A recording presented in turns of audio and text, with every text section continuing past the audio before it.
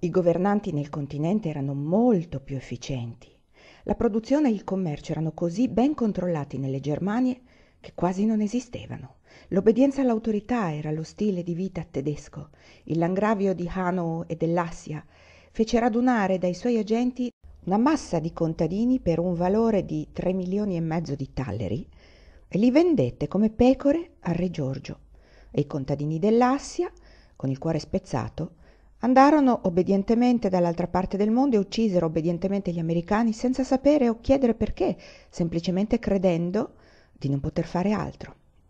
Nel frattempo, in Francia, l'economia pianificata era stata accuratamente pianificata e applicata. In ogni quartiere, in ogni momento si sentiva la mano del governo, dazi sull'importazione e sull'esportazione, sovvenzioni per risollevare un commercio in perdita e tasse per abbatterne uno remunerativo, questo ramo dell'industria proibito e quello incoraggiato, un articolo del commercio non doveva essere coltivato perché era coltivato nelle colonie, un altro articolo poteva essere coltivato e comprato ma non venduto di nuovo, mentre un terzo articolo poteva essere comprato e venduto ma non lasciare il paese. Inoltre, Troviamo leggi che regolano i salari, leggi che regolano i prezzi, leggi che regolano l'interesse del denaro, accordi doganali del tipo più fantasioso e fastidioso, aiutati da un complicato schema che era molto ben chiamato scala mobile, uno schema di tale perversa ingegnosità che i dazi variavano sullo stesso articolo e nessuno poteva calcolare in anticipo quello che avrebbe dovuto pagare. A questa incertezza di per sé la rovina di tutti i commerci si aggiungeva la severità delle esazioni, avvertita da ogni classe di produttori e consumatori. I pedaggi erano così onerosi che spesso raddoppiavano e quadruplicavano i costi di produzione. Venne organizzato un sistema rigorosamente applicato di interferenze con i mercati, con le manifatture, con i macchinari e persino con i negozi. I porti brulicavano di guardia marina, il cui unico compito era quello di ispezionare quasi tutti i processi dell'industria nazionale, di sbirciare in ogni pacco e di tassare ogni articolo. E affinché l'assurdità potesse essere portata all'estremo, gran parte di tutto questo era a titolo di protezione. Vale a dire, il denaro veniva dichiaratamente raccolto e i disagi subiti non per l'uso del governo, ma per il beneficio del popolo. In altre parole, i lavoratori venivano derubati affinché l'industria potesse prosperare.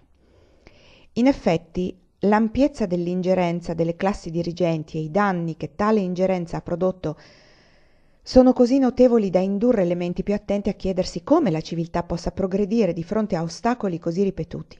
In alcuni paesi europei gli ostacoli si sono rivelati insuperabili e il progresso nazionale pertanto si è fermato. Anche in Inghilterra, dove il governo è stato per alcuni secoli meno potente che altrove, è stata inflitta una quantità di male che, sebbene molto minore di quella subita in altri paesi, è sufficientemente grave da formare un capitolo malinconico nella storia della mente umana. Quindi, per prendere solo i fatti più evidenti che non ammettono controversie è certo che tutti gli interessi più importanti sono stati gravemente danneggiati dai tentativi del legislatore di aiutarli. Invece di lasciare che l'industria segua il proprio corso, è stata disturbata da una serie interminabile di regolamenti, tutti destinati al suo bene, tra virgolette, e tutti che hanno inflitto gravi danni. Questi sono alcuni dei benefici che il commercio europeo deve alla cura paterna delle legislature europee. La prima inevitabile conseguenza fu che in ogni parte d'Europa sorsero numerose e potenti bande di contrabbandieri che vivevano disobbediendo alle leggi. Questi uomini, disperati per il timore di essere puniti, diffondevano l'ubriachezza, il furto e la dissolutezza, dissolutezze grossolane e truffaldine che erano le abitudini naturali di una, di una vita così vagabonda e senza legge. In effetti, nient'altro che il contrabbando impediva ai poveri di morire di fame sotto quel monopolio governativo, benevolmente pianificato per il loro bene. Settimanalmente nei mercati i contrabbandieri catturati venivano misericordiosamente impiccati per i reati minori di vendita di cibo, mentre per le attività commerciali più importanti venivano bruciati vivi o uccisi più lentamente con la tortura più straziante della rottura delle ossa sulla ruota. La tortura e la morte non potrebbero però fermare il contrabbando perché gli esseri umani devono sopravvivere. L'uso della forza nel tentativo di controllare eh, le necessità naturali dell'energia umana ostacola, limita e frena sempre questi usi naturali, ma non può fermarli del tutto. Il contrabbando, il furto e la pirateria hanno sempre fatto parte della storia fino a quest'ultimo secolo perché sono una necessaria protezione della vita umana contro il monopolio protetto dalla forza che è una economia pianificata. La vita umana sopravvivrà su questa terra nonostante l'inferno e l'acqua alta. Ciò che le economie pianificate hanno fatto ovviamente è stato impedire lo sviluppo della civiltà. Qualunque valore morale e spirituale un uomo possa sviluppare durante la sua vita, qualunque altezza filosofica, etica o artistica possa raggiungere, dipende innanzitutto dal fatto che rimanga in vita.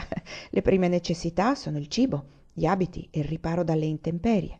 Il vecchio mondo è rimasto brutale, sanguinario, disumano e indecente per seimila anni perché in tutto questo tempo gli uomini non sono mai sfuggiti alle economie pianificate abbastanza a lungo da stabilire un approvvigionamento alimentare affidabile.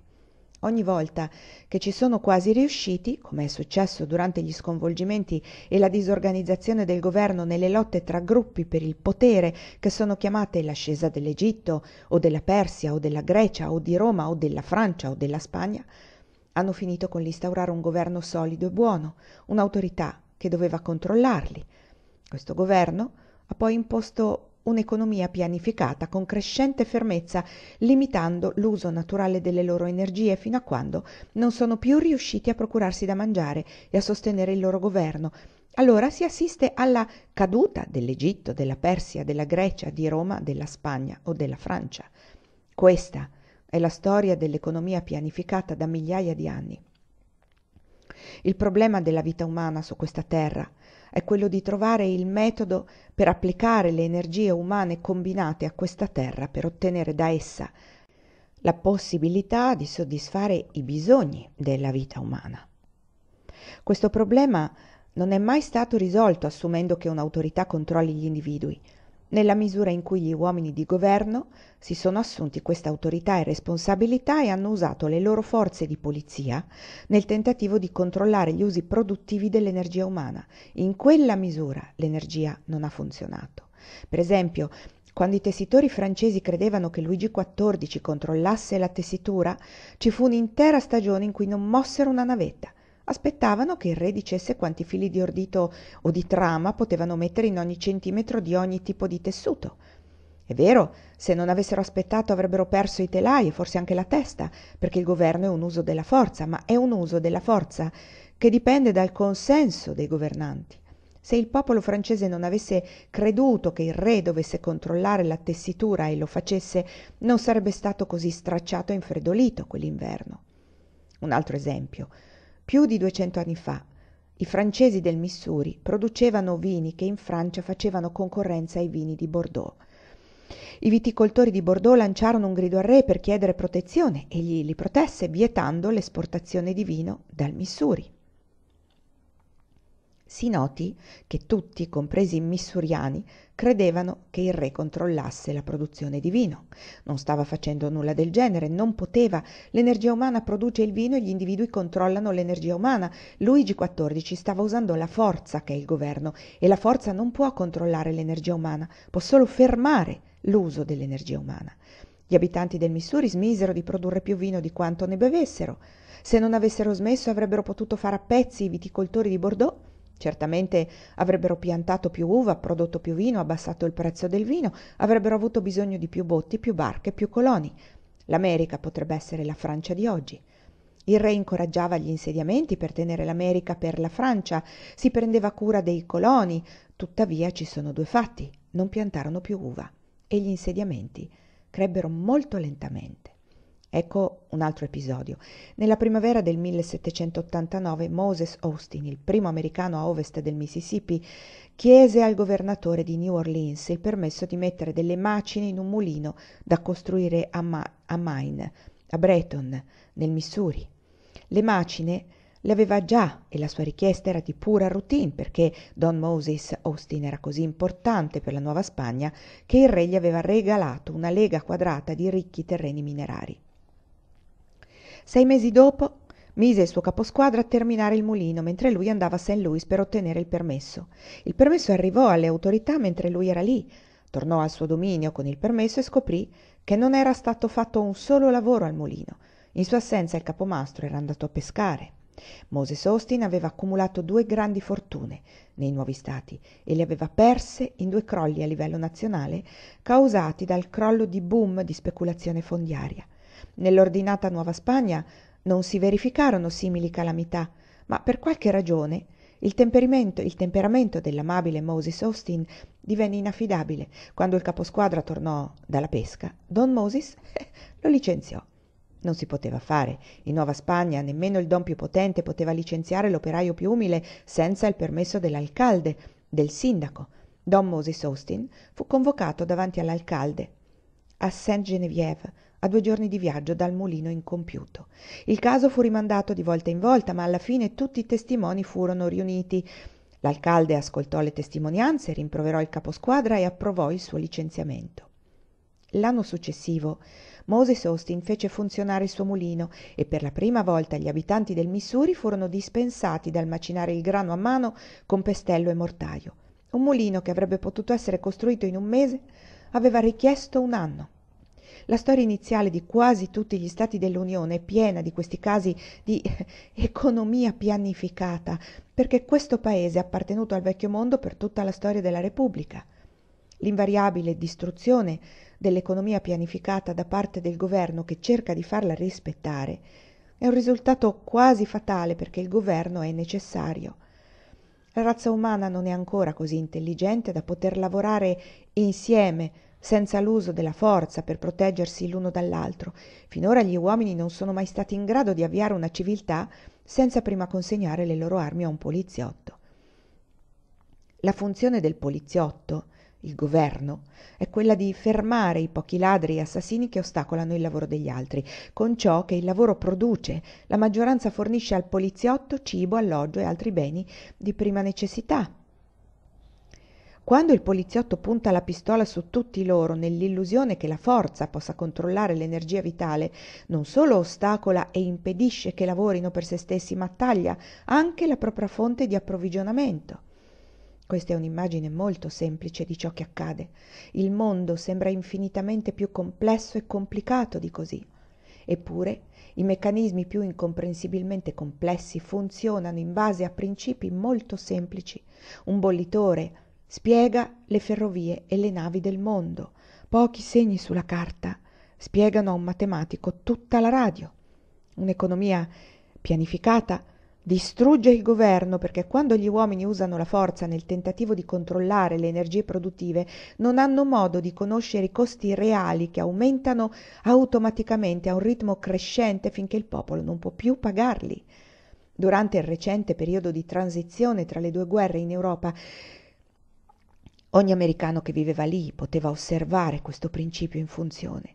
Gli effetti della rivoluzione americana hanno sconvolto per un secolo le vecchie economie pianificate dell'Europa occidentale, ma i resti di questi monopoli governativi sopravvivono ovunque e la fede europea nell'autorità ha esteso il monopolio governativo su molti prodotti della rivoluzione industriale.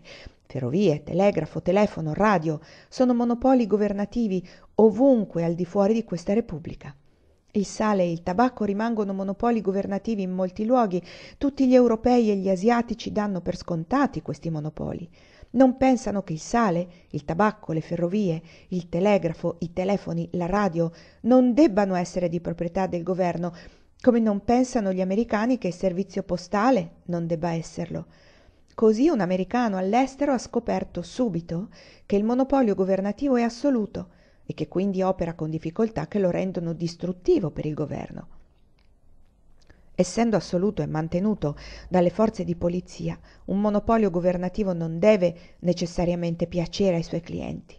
Un viaggiatore in Europa obbedisce ai funzionari delle ferrovie e accetta il servizio da loro offerto, altrimenti non viaggia in treno.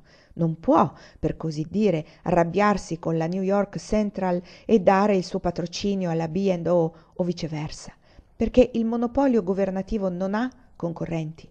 Il passeggero che paga il biglietto non ha alcun effetto su quel monopolio. Non deve temere il suo disappunto, non deve attirarlo con vagoni club e patate al forno dell'Idaho e non lo fa. Il monopolio governativo non ha bisogno di fare profitti, può funzionare indefinitamente con un deficit come fa il servizio postale americano. Le tasse servono a colmare il deficit. Il governo le riscuote. I contadini francesi che non hanno mai smesso, mai messo piede su un treno in vita loro, vivevano della loro famosa zuppa per sostenere gli uomini che gestivano le ferrovie francesi. La funzione propria e necessaria del governo è l'uso della forza. I governi del vecchio mondo, per ragioni che considererò in seguito, usano sempre questa forza contro gli altri in guerra. La loro funzione principale quindi è la forza militare. Negli intervalli tra i combattimenti questa forza è potenziale ed espressa nella diplomazia o politica di potenza. Poiché gli uomini liberi hanno creato ferrovie, telegrafo, telefono, radio, pozzi di petrolio, fabbriche moderne nel corso di questo secolo, un governo che le possieda deve usarle per servire la sua funzione primaria. Ogni governo europeo ne ha bisogno per la guerra e li costruirà, li manterrà in funzione e farà in modo che i suoi sudditi continuino a pagarli, indipendentemente dal fatto che un suddito li utilizzi o meno per i suoi scopi economici naturali. Molti europei considerano la ferrovia di Baghdad come la causa finale della Prima Guerra Mondiale. Il Kaiser non ha cercato di costruire la ferrovia di Baghdad perché gli arabi di Baghdad producono datteri che i berlinesi sono ansiosi di comprare e mangiare. E il governo tedesco voleva quella ferrovia per estendere il suo potere politico-militare, il suo uso della forza. Il governo britannico non si oppone al fatto che un tedesco mangi datteri, gli uomini del governo britannico hanno impedito la ferrovia di Baghdad perché avrebbe esteso l'uso della forza da parte del Kaiser. Il governo dello zar russo non costruì la ferrovia attraverso l'altipiano armeno vuoto per ottenere un profitto mettendo i coloni sulla terra e trasportando il cibo che avrebbero prodotto. Il governo non ha bisogno di fare profitti, prende quello che vuole. Il governo fece passare quella ferrovia direttamente dalle enormi caserme dello zar fino alla frontiera turca, mancando la grande capitale dell'Armenia di quattro miglia senza strade. Come ben ricordano le mie ossa malconce e indignate. Né i grandi centri di produzione russi si trovano ora nei Monti Urali per alcuna ragione economica naturale. Nessun governo può gestire un monopolio economico per scopi economici. La funzione propria e necessaria degli uomini di governo è l'uso della forza. Questo è il loro compito. Dovrebbero considerare il loro paese da un punto di vista politico-militare. Ad esempio, quando il Texas entrò nell'Unione, gli uomini di Washington considerarono quel territorio come un'area su cui si estendeva l'uso della forza militare. Questo era il loro dovere, così come è compito di un agricoltore considerare la terra come una fonte di raccolto. Quando gli uomini di governo detengono un monopolio economico, devono usarlo per servire la funzione propria del governo, che è l'uso della forza. Il risultato è che i servizi di tutte le estensioni europee dell'economia pianificata sono per, una, per un americano notoriamente scadenti. Quando vivevo da qualche anno a Parigi mi sono fatta un'immeritata reputazione di spiritosa in una cerchia ristretta, affermando ingenuamente un fatto. Una visitatrice americana, dopo aver cercato per mezz'ora di ottenere un numero di telefono parigino, mi chiese che cosa mai fate qui quando volete telefonare a qualcuno e io risposi sinceramente prendo un taxi. Il monopolio governativo essendo mantenuto con la forza, non dipende dai suoi clienti. I loro desideri non hanno alcun effetto diretto su di esso. Pertanto gli uomini di governo che gestiscono la produzione e la distribuzione di beni e servizi non hanno modo di conoscere i costi reali di questi beni e servizi. Il costo reale di qualsiasi oggetto, prodotto o servizio di cui gli esseri umani hanno bisogno o che desiderano è la quantità di energia umana che devono utilizzare per ottenerlo sia che un uomo guadagni denaro, sia che lo spenda, sia che vanghi il suo giardino, misura il valore di ciò che ottiene dalla quantità di energia che gli costa. Se costa troppo, otterrà qualcos'altro, se entrambi costano troppo, non otterrà nessuno dei due. Questa misura naturale dei costi agisce direttamente su un'economia non protetta. I proprietari di navi a vela sapevano subito quando il loro servizio costava troppo. I loro clienti ricorrevano ai battelli a vapore. I proprietari di battelli fluviali a vapore sapevano quando il loro servizio costava troppo, i loro clienti si rivolgevano alle ferrovie. I monopoli delle ferrovie e dei tram sapevano quando i loro costi erano troppo alti perché i loro clienti compravano auto a motore. Le ferrovie si sono rifugiate presso il governo, i tram sono scomparsi. Quando un monopolio non protetto si fa pagare troppo, il popolo lo distrugge, abbandonandolo. E i proprietari di quei beni o servizi troppo cari si bloccano immediatamente perché sanno di essere spacciati come proprietari se non riducono i costi, costi reali in termini di energia umana. Ma questa minaccia di diserzione non esiste per gli uomini di governo che hanno il monopolio di tutti i beni e servizi che corrispondono a un'economia pianificata. Il loro monopolio è assoluto, non ha concorrenti. Le persone che pagano i suoi costi in energia umana non possono disertarlo. Se i suoi costi sono troppo alti, li pagano, senza mai ottenere i beni o utilizzare i servizi che stanno pagando, come i contadini europei pagano le ferrovie e in tutta la loro vita non si allontanano mai dal loro luogo di nascita più di quanto possano fare a piedi, tranne quando vengono spediti all'addestramento militare o alla guerra. Così agli uomini che gestiscono le ferrovie europee sembra sempre che i treni offrano tutto il servizio che si desidera a un costo ragionevole nei termini artificiali di marchi, franchi e lire, non hanno modo di conoscere i costi reali dell'energia umana perché le persone che pagano questi costi non hanno mezzi pacifici per protestare contro i costi troppo alti e questi costi reali devono aumentare costantemente perché il tentativo di esercitare un controllo dell'energia umana che non può essere esercitato è uno spreco di energia umana che deve aumentare costantemente. Vi illustro cosa intendo. Supponiamo che durante l'armistizio abbiate comprato un rocchetto di filo in un grande magazzino francese. Non che sia un rocchetto, il filo è avvolto su un pezzo di carta perché i parsimoniosi francesi non sprecano il legno. Ci vogliono pochi secondi per dire un rocchetto di filo di cotone, per favore, bianco, misura 60. Con grazia, l'impiegata prende il filo in mano, esce da dietro il bancone e vi chiede cortesemente di accompagnarla vi accompagna attraverso il negozio, forse per mezzo isolato, e vi indica il vostro posto alla fine di una fila d'attesa. Dopo una ventina di minuti raggiungete la grata del cassiere, il cassiere seduto dietro le sbarre su un alto sgabello con un ampio libro mastro aperto davanti a sé, la boccetta d'inchiostro stappata e la penna in mano.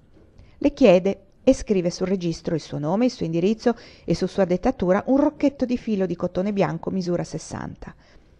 Lo prenderà, signore, se lo farà consegnare? Lo prenderà, lo scrive. Il prezzo 40 centesimi.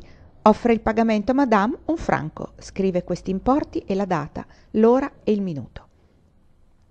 Date il franco al commesso, che lo dà al cassiere, il quale vi dà il resto, guarda il filo e vi chiede se siete soddisfatti. Lo siete. Un tratto della sua penna verifica questo fatto.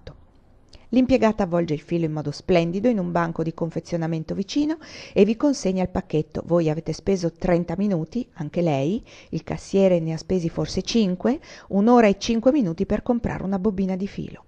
I grandi magazzini francesi sono stati all'altezza dei migliori del mondo. I francesi sono esperti commercianti, conoscevano i sistemi a tubi pneumatici. Il governo di Parigi ne possedeva uno che trasportava banconote a consegna speciale più rapidamente di quanto si potesse ottenere un numero di telefono. I proprietari dei grandi magazzini ammiravano i sistemi di cassa dei negozi americani, ma se li avessero installati sarebbero stati costretti a mantenere il cassiere, il suo libro mastro, la sua penna e il suo inchiostro. Perché? Perché nei mercati dell'epoca di Napoleone i venditori imbrogliavano gli acquirenti, Napoleone proteggeva i compratori, decretò che i dettagli di ogni vendita dovevano essere scritti in un libro con penna e inchiostro, alla presenza del venditore e dell'acquirente, da una terza persona che doveva vedere l'articolo e il trasferimento di denaro. L'acquirente doveva dichiararsi soddisfatto e il registro doveva essere conservato in modo permanente per verificare i fatti in caso di reclami futuri. Durante il secolo scorso il merchandising francese era cresciuto enormemente. È è cresciuto enormemente, ma non il metodo di protezione degli acquirenti. Ho chiesto a un proprietario del più grande magazzino francese perché il decreto di Napoleone non fosse stato abrogato. Mi ha risposto: Ma signora, è in vigore da più di cento anni, non può essere abrogato. Pensi alle commesse, ai cassieri, agli archivisti, ai guardiani che sorvegliano i magazzini dei libri contabili, perderebbero il lavoro. Era scioccato. Mi vedeva come l'americana materialista che pensava solo al profitto senza curarsi di tutti quegli esseri umani. Pensavo fossero disoccupati. Non risultavano disoccupati in nessun registro, ma la disoccupazione reale in Francia e in tutta Europa era enorme. Per ogni acquisto in un grande magazzino francese si perdeva qualcosa come un'ora di tempo, milioni di ore al giorno, e i cassieri, gli addetti all'archiviazione, gli osservatori di quei registri non hanno mai svolto un lavoro produttivo. Tutta questa disoccupazione forzata rendeva impossibile fare qualcosa in fretta. La vita europea era tranquilla, doveva esserlo. Questo affascinava gli americani che passavano allegramente tutte le noiose attese fatte per loro, tutta la burocrazia sciolta, tutti i timbri della polizia posti sui loro documenti da Cooks o Amexco o dai loro banchieri o portinai d'albergo. Com'era serena, com'era colta la vita europea, dicevano. Nessuno si affrettava, tutti avevano tempo per meditare e divertirsi, passeggiare nei parchi, sedersi ai tavoli dei caffè sotto i platani. In confronto la vita americana era così molesta, frettolosa, maleducata e rozza. Si poteva riconoscere un americano, un'americana da dove lo, la si vedeva, dal modo in cui camminava, mento in alto, testa alta, passo spedito per andare da qualche parte, con una padronanza inconsapevole della terra che calpestava. Nessun europeo si muoveva così. Gli europei camminavano con prudenza e lentamente. Ogni loro gesto consumava il tempo lasciandolo semplicemente passare. Questo ha fatto sì che le loro vite e i loro paesi sembrassero così riposanti per gli americani e lo stesso modo di camminare, lo stesso senso del tempo inutile, lo si può vedere nei prigionieri di qualsiasi carcere americano. Io e un'amica abbiamo comprato una Ford a Parigi, una Ford francese costruita, o forse assemblata, da meccanici francesi, la cui abilità è insuperabile al mondo. Non so quale fosse il salario degli uomini che hanno costruito quella Ford, né come vivessero, ma so come vivevano i lavoratori francesi qualificati in generale, perché ho amici della classe operaia francese. Il loro salario permetteva loro di vivere, dove il loro status di classe li manteneva comunque, nei quartieri operai della città, cioè dove le strade strette sono sporche di escrementi umani, perché le case popolari non hanno le tubature, dove il loro cibo era pane e formaggio e a volte carne di cavallo dove le loro camere da letto non hanno finestre a causa dell'alta tassa sulle finestre e i loro denti marciscono nelle mascelle perché come possono gli, opera- gli operai permettersi i dentisti e due su tre dei loro bambini muoiono a meno di un anno. Le tasse facevano costare la Ford in dollari il doppio di quanto sarebbe costata negli Stati Uniti. Per un francese il prezzo era una vera fortuna. Si trattava di una Ford qualunque, allora oggetto di migliaia di battute in America. In Europa il fatto di possederla annunciava assurdamente che si era persone ricche. Un operaio francese, grazie a un'attenta pianificazione, alla fortuna e a mesi o anni di parsimonia, poteva possedere una bicicletta. Dopo aver acquistato questa splendida Ford, io e la mia amica ci siamo messi in testa di ottenere il permesso di guidarla e di portarla fuori da Parigi e dalla Francia. Lavorammo separatamente per sfruttare doppiamente il tempo. Per sei settimane lavorammo costantemente ogni giorno e ogni ora in cui gli uffici del governo erano aperti. Quando chiudevano, ci riunivamo per riposare nell'incantevole ozio di un caffè e confrontavamo gli appunti e i modi per tirare i fili. Esauste, tornammo a casa in metropolitana in seconda classe. I lavoratori ovviamente viaggiano in terza classe in Europa. Uno dei requisiti era quello di scattare 12 fototessere di quell'auto a volto scoperto, senza cappello. Esagero, il regolamento non parlava di cappello, ma questa era una Ford uscita nuda dalla fabbrica. Non un dettaglio o un marchio la distingueva da milioni di vetture del suo genere. Eppure dovetti ingaggiare un fotografo per scattare una foto frontale a tutto radiatore, dove si trovava ancora nel salone di vendita, e fare dodici stampe, ognuna delle quali certificata come un ritratto di quella identica vettura. Il funzionario competente le incollò una per una in mia presenza su dodici documenti identici, ognuno dei quali fu compilato con l'inchiostro, firmato e controfirmato, timbrato e vidimato. Naturalmente li pagai. Uno mi è stato consegnato. Dopo sei settimane di duro lavoro avevamo tutti i documenti dell'auto. Erano spessi quasi un centimetro stesi in piano, Ognuno di essi era correttamente firmato e timbrato, ognuno aveva in più il piccolo timbro incollato che mostrava che era stata pagata la tassa che deve essere pagata su ogni documento legale. Questa è la tassa di bollo che gli americani si sono rifiutati di pagare. Credo che avessimo anche le targhe, so che avevamo le patenti di guida. Finalmente siamo partite con la nostra auto e al primo isolato ci hanno fermato due poliziotti. I poliziotti europei vanno sempre in coppia, in modo che uno controlli l'altro. Non so se questo renda impossibile corrompere uno dei due o se sia necessario corromperli entrambi. Non ho mai provato a comprare un poliziotto.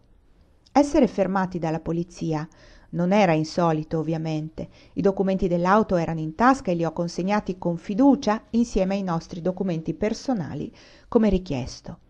I poliziotti hanno esaminato ciascuno di essi, li hanno trovati in ordine, li hanno annotati nei loro libretti neri, poi cortesemente ci hanno arrestate. Nessuno ci aveva parlato della lastra di ottone. Non ne avevamo mai sentito parlare. L'auto deve avere una targhetta di ottone che misura esattamente così per così, circa 4 per 6 per 4 pollici, incisa a mano con il nome e l'indirizzo completo del proprietario, fissata al cruscotto con quattro viti di ottone di determinate dimensioni, attraverso quattro fori di determinate dimensioni, un foro in ogni angolo della targhetta di ottone. La mia amica si è accasciata al volante. È troppo, ha detto. Lasciamo perdere tutto e andiamo in treno. Signori, siamo completamente desolate, disse, dissi. Pensate a, ste- pensate a voi stessi che siamo americane, estranee alla bella Francia. Immaginate come abbiamo pianificato, risparmiato, sognato e sperato che arrivasse il giorno in cui avremmo visto Parigi. E alla fine eccoci qua.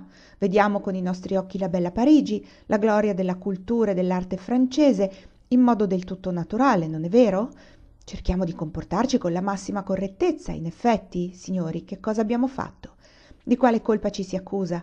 Vedete i nostri passaporti, le nostre carte d'identità, il nostro permesso di entrare in Francia e di rimanere in Francia, di entrare a Parigi e di vivere a Parigi e purtroppo di lasciare la Francia e di partire da Parigi perché tutte le gioie devono finire? No?